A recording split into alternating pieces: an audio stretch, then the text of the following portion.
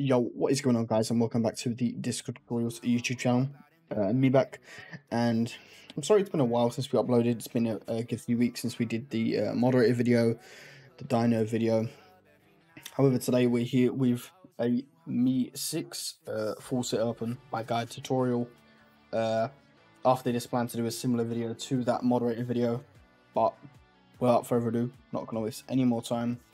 To go straight into it on the 6 homepage here, you can either log in, add to Discord, either one really does the same. It will give you an authorization window. May ask you to log in if you if you haven't uh, cached it or whatnot. Then you simply just need to choose which server you want to add it to. Click continue. It will ask for all these perms. Same with Dyno. I personally recommend giving it admin just because it will generally be a high rob anyway and you'll want it if you're going to use uh, MEE6 for moderation. So you've added it, you should see uh, all of your, you know, stuff here. Yeah, and you know, if you see whatever server you added it to, bots here, uh, that's all good. So in terms of MEE6, I'm going to show you a few things really that you can do, kind of cool.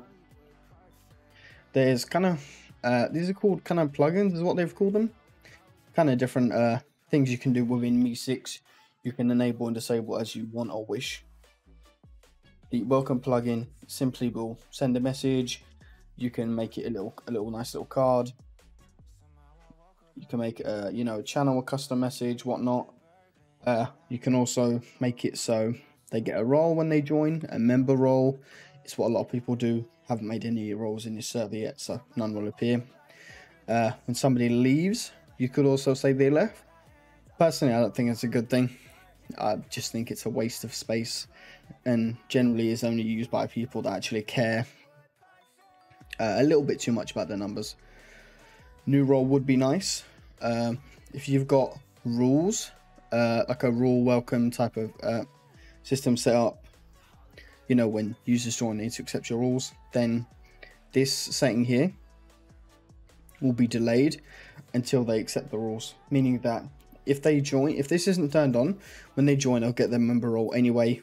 Then they'll bypass the whole member screening and accepting the rules. This is turned on. They need to accept the rules first, be an actual member. Then the role is given to them. It gives you an added extra of uh, security against bots and whatnot. This here simply will send a private DM to people instead of uh, a text channel, or it can do both. It's kind of how, however you want to set that up and run it. Or you can straight disable it if you don't want any of these options. Custom commands, you know, kind of self-explanatory. You want a custom command, you know, whatever. Um, well, in here,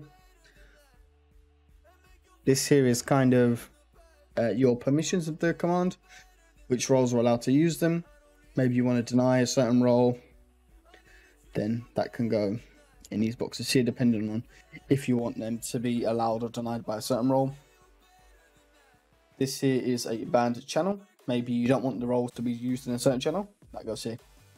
Cooldown would be uh, a cooldown on how long you want the command to be used. You know, maybe you only want it to be used once every five seconds, whatnot. Do you get the gist? Delete command usage will simply delete the command, the activation command, and this won't reply. Simple. Again, you can disable them if you don't want them. Embeds. Embed is simply just a nice little message uh, type of thing. This is just funny little commands. Urban, Urban Dictionary, manga, images, Twitch. You get the idea. People don't generally use this record and help this you can record it and save it as an MP3. Kind of stupid. Moderator, I generally don't use MEE6 moderation, but you can. So in here, you'd put any moderator role that you want to be able to use these commands. If you want a log channel, log channel will go here. And then you can simply choose what you want to be logged. Obviously, uncheck means it's not logging, check means it will log. This here is a premium one, so any of these three will be a premium feature. Again, you get the idea. Log or don't log. Ignore channels. will mean that anything that happens in a certain channel that you've selected won't be logged. So by selecting admin channel, it won't log the admin channels. You get the idea. These are auto moderator, so you can put delete, warn, delete and warn. You can check certain channels, roles, a list of bad words. It should be pretty self-explanatory. Automated actions. That says you can auto mute, kick, ban, meaning that if they uh, kind of do one of these things too many times, they can get, you know, auto muted, auto kicked, auto banned, temp muted, whatnot. Again, uh, this here isn't really used either. And these are the moderation commands which you can either deny or enable at your own at your own peril, depending on your use case scenario, of course. Timers basically every 10 minutes, every whatever you set up, a certain message can be sent depending on what you want. People, I can I can see people using this perhaps for a Twitch stream, uh, or a Twitch a Twitch Twitch link, YouTube link, stuff like that. Perhaps, maybe in more kind of Twitch YouTube communities. Personally, don't really see used to it. Depends on your use case scenario again. Now, in terms of these four, they are premium, but I'll go over them slightly. Won't probably likely won't let me go into them. Essentially, you connect your socials, um, you select the channel that you want it to go to, and you can basically modify the message. Meaning that for Twitch, when you go live, your Twitch gets uh, posted. When you tweet, tweet gets posted. When you upload a video, gets posted. You get the gist. Uh, music, there is a lol. Uh, there is a music function to MEE6. Again, personally, I don't use it just because I feel like there are better bots out there that are suited directly for music bots. This one, personally, for me, is not the one. But again, if you wish to use it, very simple. You can simply deny and allow the commands as you wish. You can click on them to you know, check out the permissions. Maybe you don't want a certain role to uh, to be used or to not be used. A certain channel. You can set a you can set a cooldown. Kind of simple with the commands. And uh, kind of a little playing thing will show here. You can skip it directly from here. You can also add. Uh, you can also add and view the queue here. Kind of simple. Again, should be quite self-explanatory. These aren't really too used, but I guess I'll go over them. Never actually looked at this before, but I guess it should be. I guess it's not wanting to do it anyway. I'll go over levels first then. Levels are basically is a XP system that each message that a person sends, they'll receive a certain amount of XP for. Uh, depending on if you got premium or not, you can change that this level up announcement, most people put in the current channel. I personally hate this so much. I always go custom channel.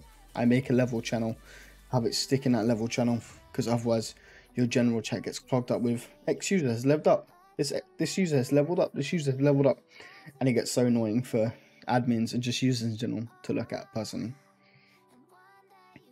So this here basically uh, will be role roles that you want to reward to users.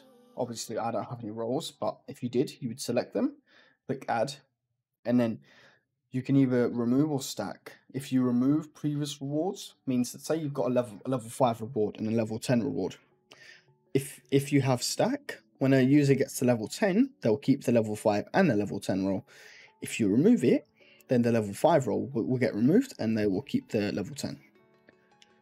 Server card is essentially the uh, card they see when they do the uh, level command. Not sure. Studios aren't loading. Not sure if there's an error on the site or whatnot. But it's basically just a card displaying a user. Uh, similar to... On button, lol. Very similar to this. Um, XP rate is a premium one, but if you have premium, you can essentially change the XP rate of each message. You can opt to not give extra XP to Mi MEE6 Pro. Never heard of MEE6 Pro, but okay. no XP role will be a role that you don't want to have XP. Maybe you've got a naughty role or a timeout role, but they can still talk. But you don't want them to get a role. Uh, maybe bot role, maybe admins, etc. etc. Get the idea.